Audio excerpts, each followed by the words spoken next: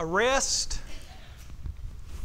He was taken by the Jewish council and uh, chief priest to Pilate. And it was there, you recall, that when he appeared before Pilate, that Pilate asked him, Are you the king of the Jews? And as Melvin reminded us this last week in his series of lessons on Jesus, he said, is, it is as you say. And then there were all these false accusations that were made against him by all of these Jewish leaders, to which he had nothing to say, no doubt fulfilling the prophecy of Isaiah chapter 53 and verse 7 that he would remain silent. He wouldn't give a defense like he so. Uh, capably could have given in defense of his integrity, in defense of his innocence. And you re- recall that uh, it was the custom of the Jews, as was read for us a few minutes ago. I believe that was Landon who read that for us. It was the custom of the Jews uh, of Pilate to release uh, one prisoner every year at the Passover, and so he, uh, you know, presented Barabbas, who was a robber, a thief. He was a rebel. He was also a murderer. Presented a murderer before the people as one who was possibly to be released to them, as well as Jesus. And they chose, you recall, Barabbas. To which then Pilate said, What then shall I do with Jesus?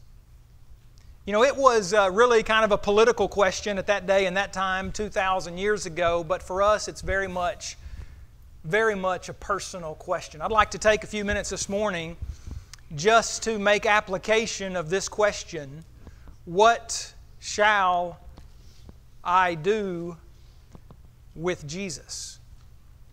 You know, there are a lot of. Uh, a lot of things, a lot of people, it doesn't really matter in one sense. I mean, what we do with them. I mean, I don't know President Trump. There's some things I appreciate about him, maybe a, a, lot of things, and there's some things I don't appreciate as much. But there's a sense in which it doesn't really matter what I do with President Trump, you know? There's a sense in which it doesn't really matter what I do with the possibility of voting for Governor Kay Ivey or not. It doesn't really matter what I think about Nick Saban. It doesn't matter what I think about Gus Malzahn, in a sense. I mean, you know, as a Christian, I want to be kind to him if I ever cross paths, but I, I doubt we run in the same circles, you know. You know, there are a lot of questions we could ask, a lot of people that we could consider. There's a sense in which it doesn't matter, really. You know, I, I never, may never cross paths with them, I, I may never see them, may never get an opportunity to get to know them, but you know what really does matter? And there, there's a sense in which is, is the only thing that matters, is how I answer the question what shall I do with Jesus? Do you think that Pilate's going to be held accountable for what he did with Jesus? Do you think that those who were there, who were crying out to crucify him, that they will be held accountable if they didn't repent of their sin to, to have Jesus crucified? You know, I thought it would be fitting, given the fact that for four days this last week, we learned about why we believe in Jesus last Sunday morning in the Bible class, and Jesus being the Son of Man, and learning in our gospel meeting about Jesus. And, and I don't know about you, but I thought it was a fantastic gospel meeting. I mean, from the standpoint of what we learned, what we were encouraged by, Jesus being the Savior of the world, Jesus being the mediator of for mankind, potentially, potentially being the Savior of the world, as Christians, our Savior, learning about Jesus and being reminded of the fact that He is a friend of sinners. Great lesson that on Wednesday night that Melvin preached to us from God's Word. I thought it would be uh, fitting to uh, somewhat kind of end that meeting and, and begin a new week and, and meditate for a few minutes today on the question you know, given all that we've learned about Jesus, given all that we know about Jesus, what shall we do with Him? What shall we do with Him? Just real quickly, let, re, let me remind us what they did with Him at that time. You recall that um, Matthew chapter 27 indicates that, that those who, verse 30, uh, 39, that those who passed by, they blasphemed Him. Verse 41 the, the chief priest and the scribes and the elders, they, they mocked him. They despised him. That's what they had to say about him.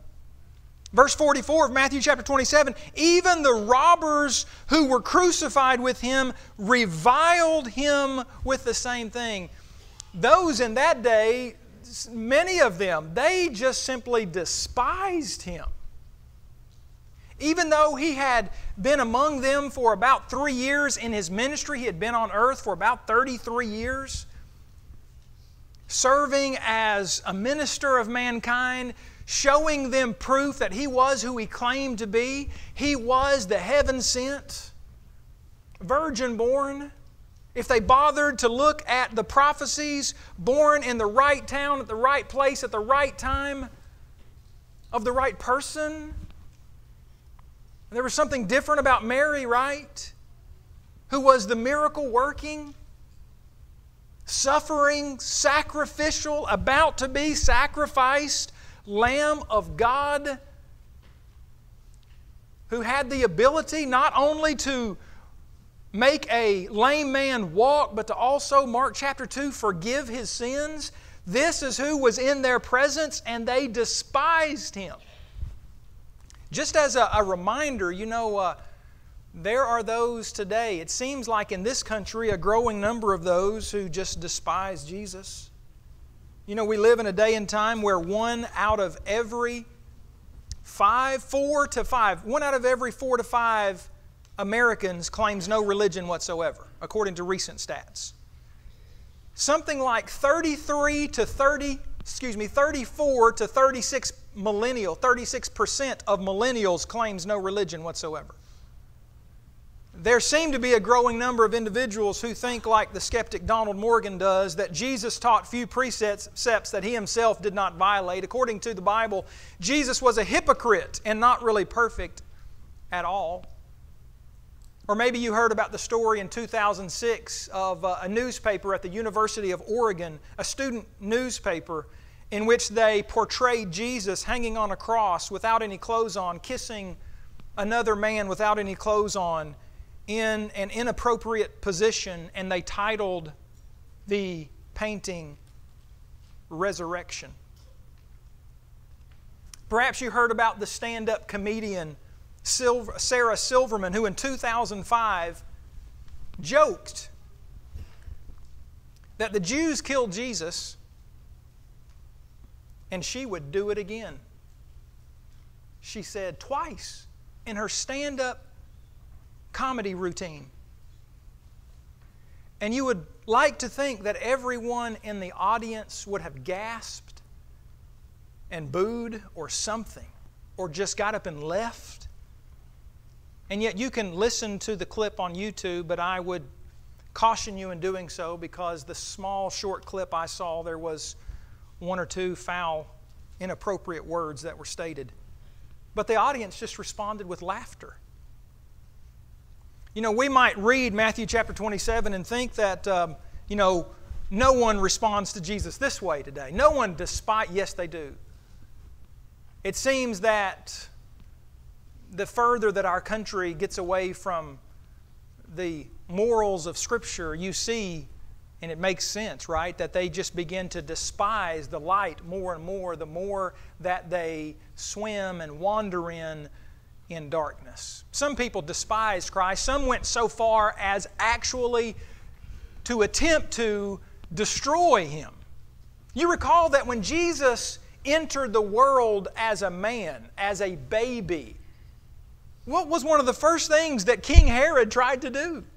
The text says that when the wise men from the east, when, when he realized that they weren't coming back to him to report to them, that he sought to do what? To destroy Christ, to destroy Jesus.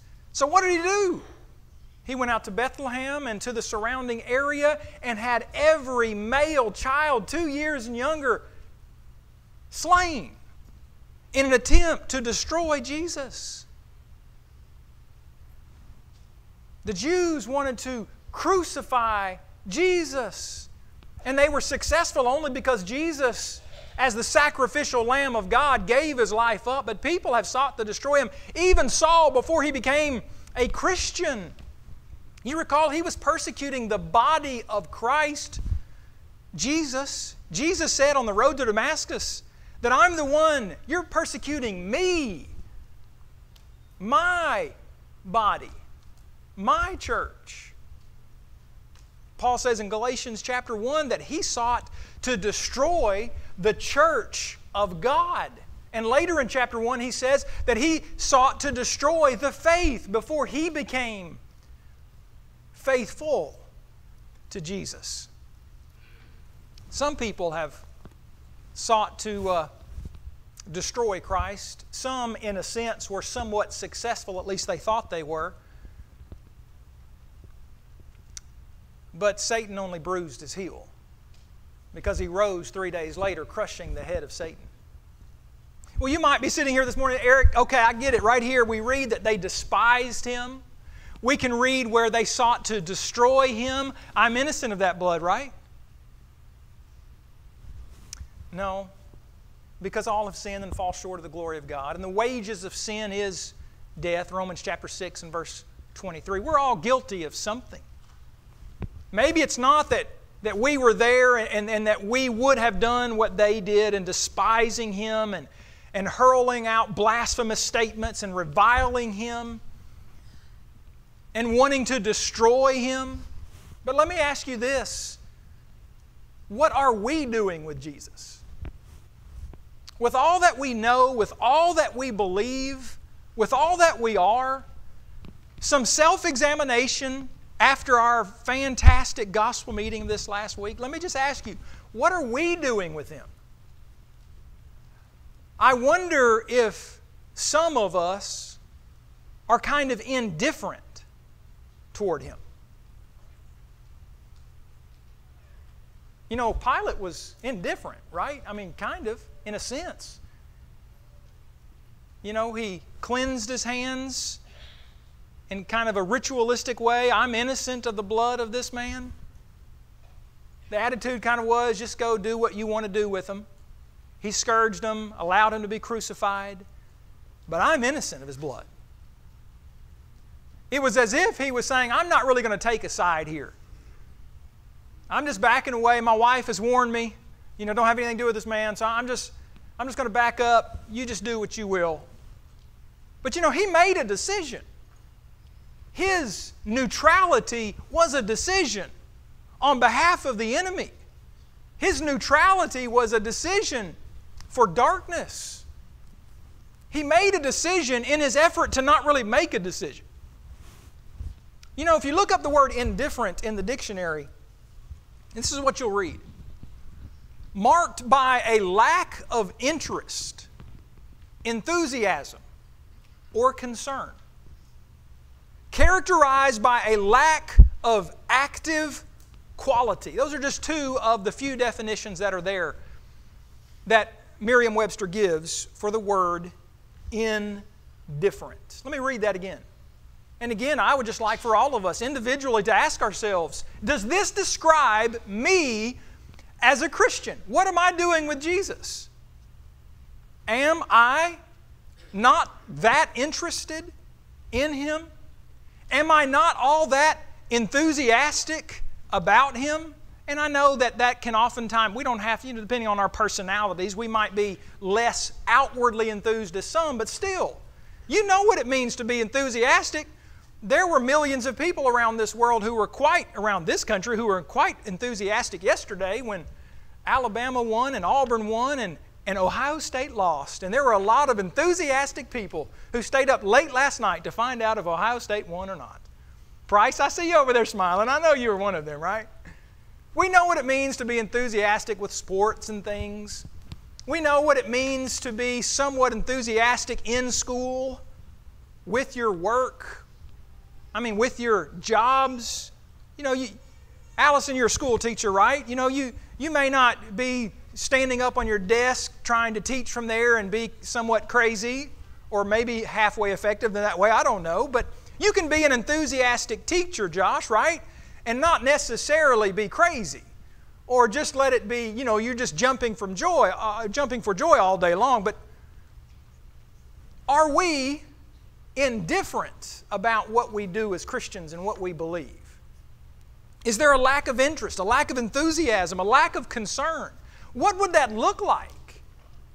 You recall that when Elijah, when he was uh, there with the prophets of Baal and all those in, in 1 Kings chapter 18 there at Mount Carmel,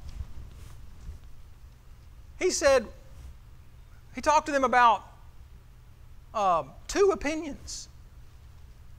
And they had to make a choice, he said. How long will you falter between two opinions? If the Lord is God, follow him. But if Baal, follow him. But the people, they answered not a word. Maybe some of them were just trying to be neutral because it was controversial, because maybe it would take some, some effort. You know, there's a song we sing, What Will You Do with Jesus? Is that our invitation song, Andrew? It's one of them, okay. What will you do with Jesus, my friend? I love this phrase in the song neutral, you cannot be. Because if you're neutral, guess what? You're indifferent. And if you're indifferent, you don't have any enthusiasm for the Lord. You don't have any care or concern for Him and His will and His people. Are we indifferent? What, what does God think about indifferent people? Well, let me ask you this what did God think about the Laodiceans? I remember that church at Laodicea. And wasn't it so pleasant that they were not hot and they were not cold? They were lukewarm. And Jay is just laughing up here because he knows that's a problem.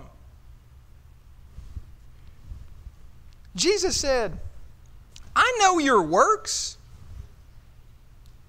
You're not cold you're not refreshing, you're not hot, and all of the effective things you can do with hot water, for example. I could wish you were cold or hot. Revelation 3:16 So then because you are lukewarm and neither cold nor hot I will vomit you out of my mouth. Just stop here for a second and ask this. If we are examining our lives this morning and we come to the conclusion that, you know what, I might be a lukewarm Christian. In fact, I think I am a lukewarm Christian. Well, just ask yourself this then. If you come to that conclusion, ask yourself, what does God want you to do? Does He want you and me, does He want us to remain in a lukewarm state? Absolutely not. He calls us to the same thing that He was calling people 2,000 years ago to do to repent. At that time, it was repent, for the kingdom of heaven is at hand, and now it's repent and become a member of the kingdom, and become not an indifferent member of the kingdom, but an active, encouraging, serious, this is my life kind of person, servant in the kingdom. Far too many of us, it seems, our our servitude in the kingdom is like the priest who, when the man fell among thieves from Jerusalem down to Jericho, and he saw the man who was in need of help, and I'm not saying, you know, literally that this is what we would do, but sometimes our Christian life is this kind of what we are. We just walk on by our Christian responsibilities because we're too busy with everything else in life. Or maybe we're like the Levite who looked and just walked, walked right on by.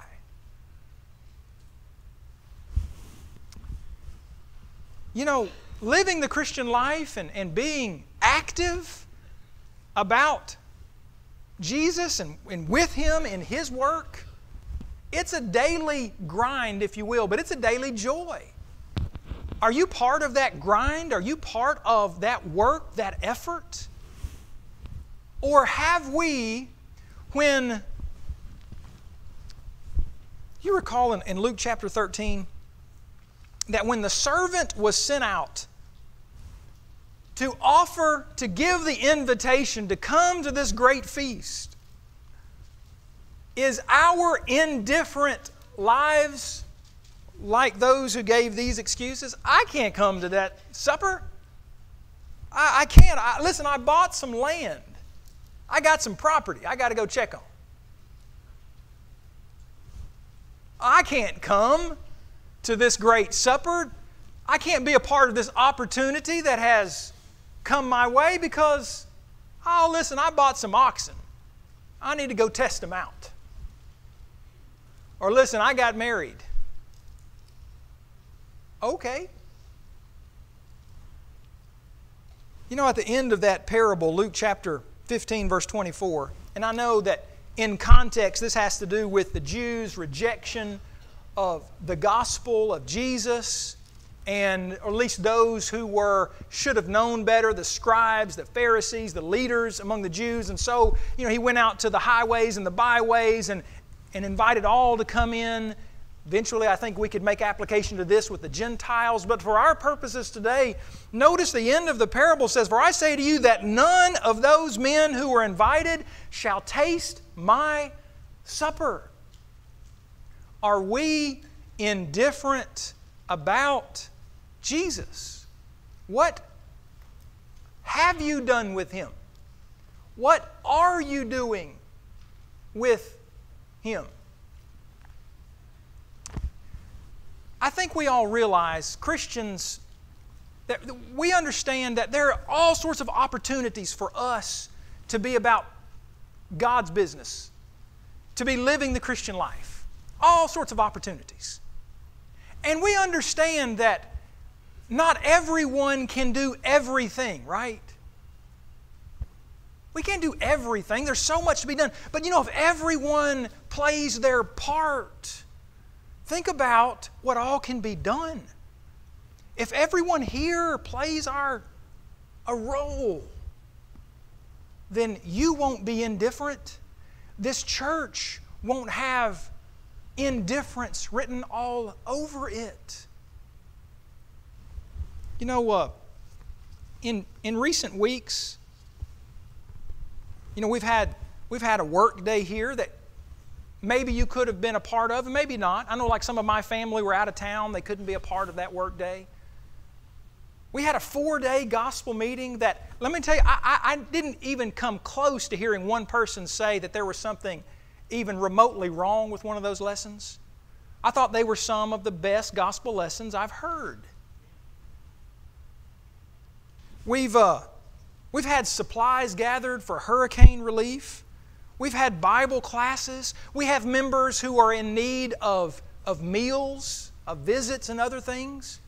You know, there are a lot of opportunities. Everyone here is put in a care group. Think about that word care. It's a care group. You get to choose whether you want to be a part of caring with a group of people who are a smaller group of this congregation so that we can hopefully care for each other a little bit better. Are we indifferent about all of these things? You know, a lot of things that, that we aren't indifferent about. You know, a lot of times we're, we're not very indifferent. Depending on our job, we may not be very indifferent about our job because, I mean, we're going to be punctual, we're going to be there, we're going to work hard, we're going to put our time in. And that can be a very good thing. You know, maybe we're, we're not very indifferent a lot of times about our school activities, our work activities, our recreational activities.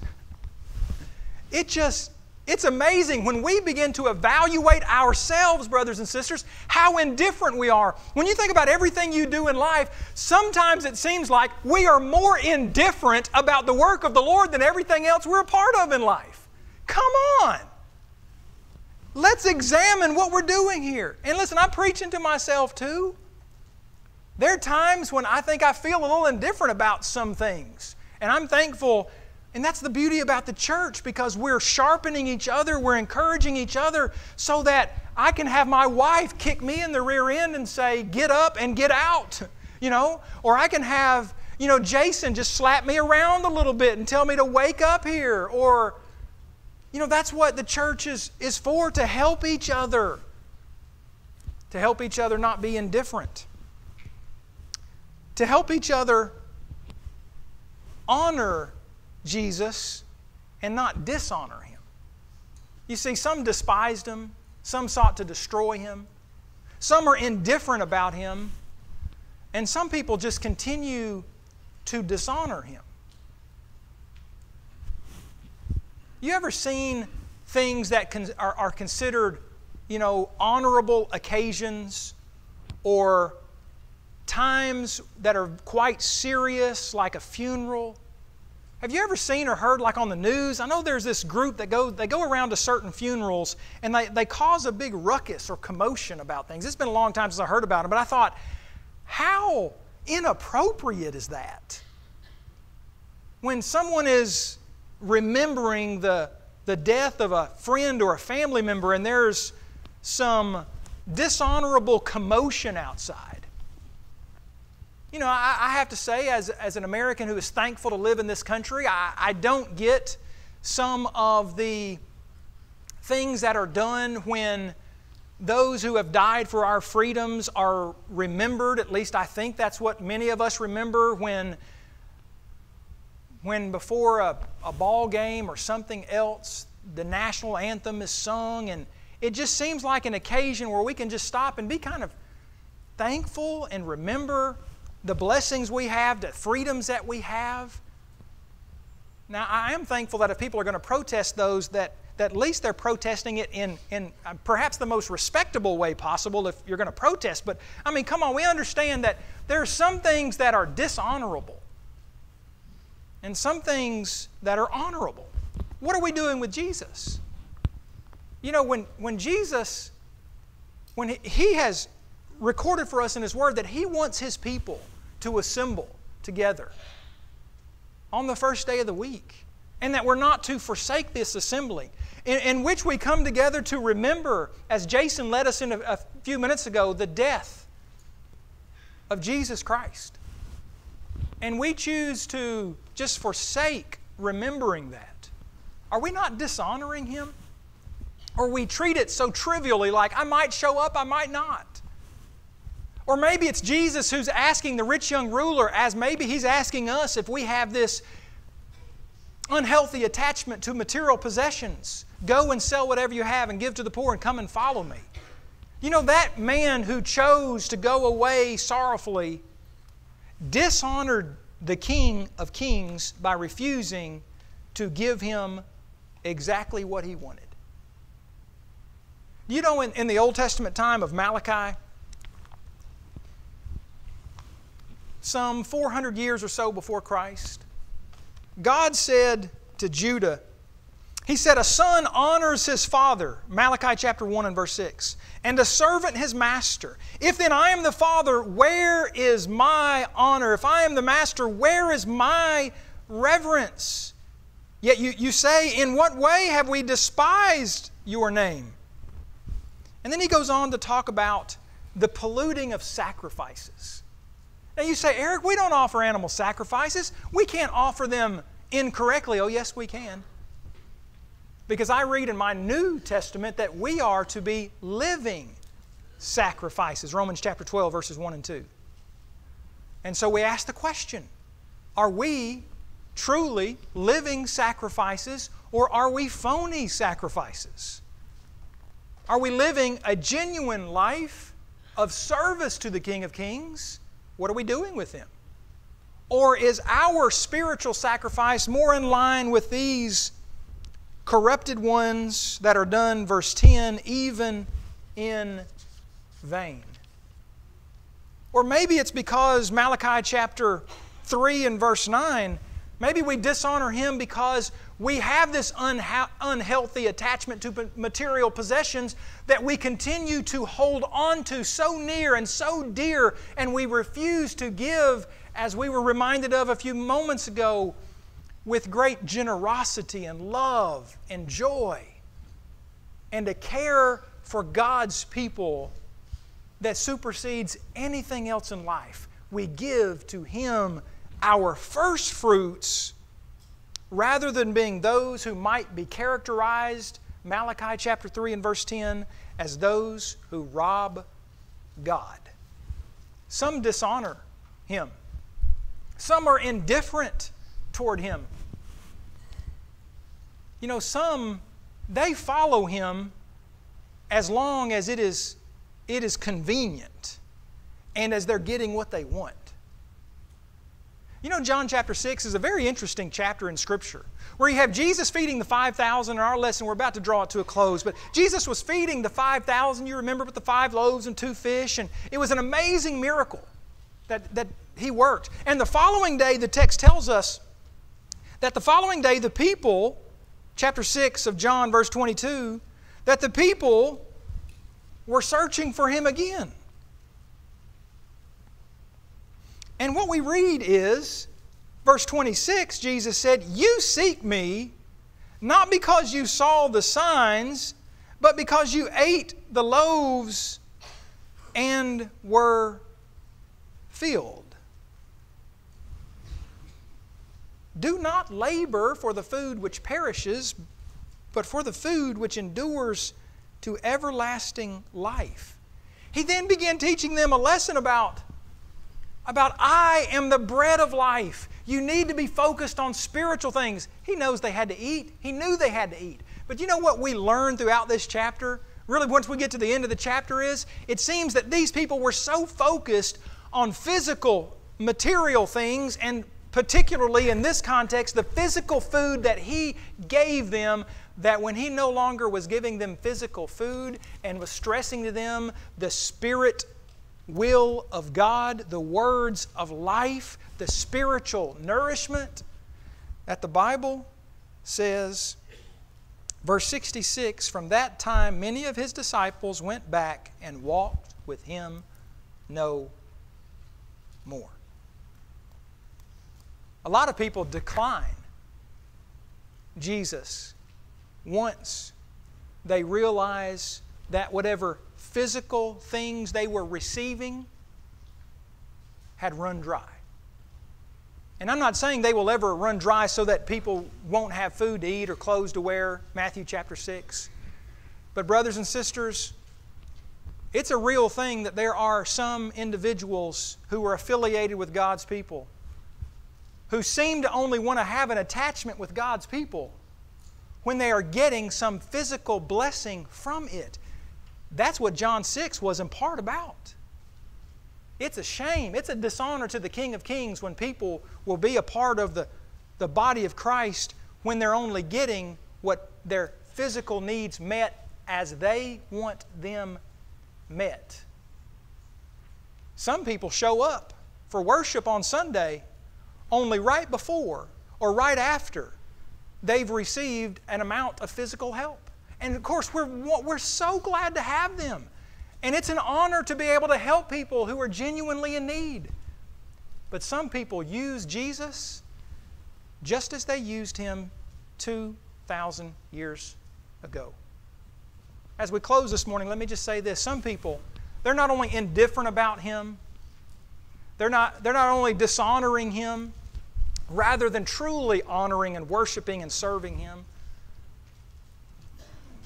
They no longer, they, they, they know, not only maybe some of them just leave him, forsake him, decline his spiritual help, but are inclined to take his physical help. But they will just delay. Some will, will refuse by their delaying of responding to the invitation of our Lord. You recall, do you not, there in Acts chapter 24? As Paul had been teaching Felix. And Felix says there in Acts chapter 24 that, that he'd heard him concerning the faith in Christ, and it was reasoned, it was preached appropriately. And the Bible says in verse 25 that Felix was afraid of Acts 24, and he said to Paul, Go away for now. When I have a convenient time, I will call you. When I have a convenient time. Christianity is not a religion of convenience. Brothers and sisters, it may be that we've made it one of convenience. We serve Him when it's convenient. We follow Him when it doesn't hurt me at all. We love Him when I don't have to labor for Him. We're studying the book of Thessalonians, 1st and 2nd Thessalonians in auditorium class on Wednesday night. I'm so impressed with those Christians who, by the time Paul wrote that epistle, they had only been Christians for a few months. And they were all in. They didn't delay coming to know Jesus, coming to obey Him, becoming Christians, even in the face of persecution, Acts chapter 17.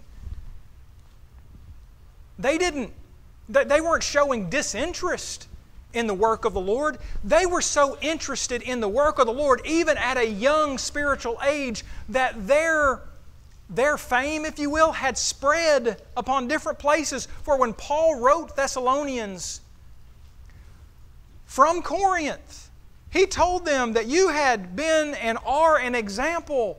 And there were people that Paul was running into who had heard about and seen with their own eyes the faith of the Christians in Thessalonica. They weren't disinterested. They weren't dishonoring God with their love of possessions or with their refusal to be involved in the work of the Lord. And they certainly weren't in the body of Christ and active members for what physical blessings they had because the text tells us that they were suffering and that they were poor. They were dirt poor. But they loved Jesus. What shall we do. Before we're led in our invitation song, let me remind you the chorus of this song. What shall, what will you do with Jesus? Let me just read a few words from the song. Jesus is standing in Pilate's hall, friendless, forsaken, betrayed by all. Hearken, what meaneth the sudden call? Jesus is standing on trial still. You can be false to him if you will. You can be faithful through good or ill. Will you evade him as Pilate tried, or will you choose him? Whate'er betide, vainly you struggle from him to hide. Will you, like Peter, your Lord deny, or will you scorn from his foes, or will you scorn from his foes to fly, daring for Jesus to live or die? Jesus, I give thee my heart today. Jesus, I'll follow thee all the way, gladly obeying thee, will you say. This will I do with Jesus. What will you do with Jesus, my friend? Neutral you cannot be. Someday, your heart will be asking, Oh, friend, what will he do with me? You need to respond to God's invitation this morning, won't you do so as we stand and as we sing?